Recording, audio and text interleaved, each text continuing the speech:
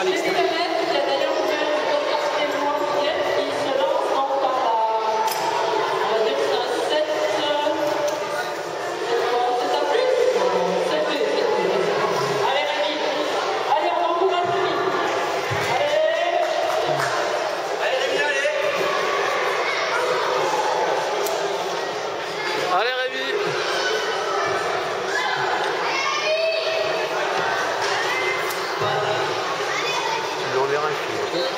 Ah, je le mettrai sur internet.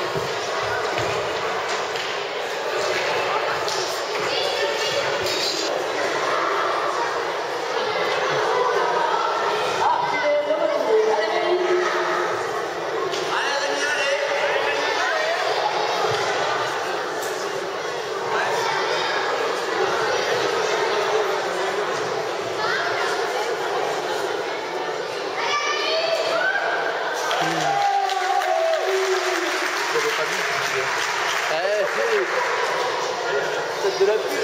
Ah bah oui.